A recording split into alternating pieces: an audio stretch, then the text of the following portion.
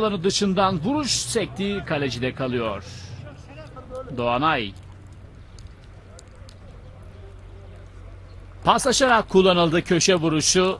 Yeditepe baskısı var. Kale çizgisi, gol pozisyonu ve top ağlarda. Hasret 34'te 1-0 öne geçirdi takımını. İkinci gol için bastırıyor Yeditepe. Gol pozisyonu ve ikinci gol. Emrah 38'de 2-0 yaptı. Mübarek verdi pasını. Anum Anum'dan pas. Sol çapraz. Vuruş ve kaleci Şerafettin. Gole izin vermedi. Cepas Anum topu aldı. Verdi pasını Mübarek.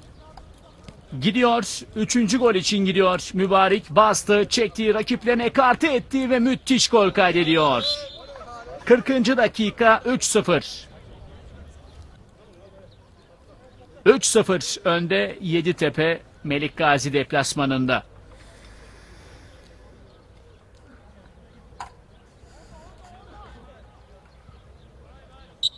Oyun yeniden hareketlilik kazanıyor.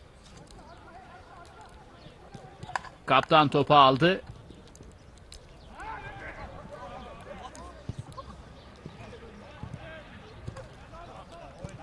Şimdi kaptırılan top Cepas Anum hareketlendi. Aldı topu götürüyor. Mübarek bastı çekti. Mübarek skoru belirleyen golü kaydediyor.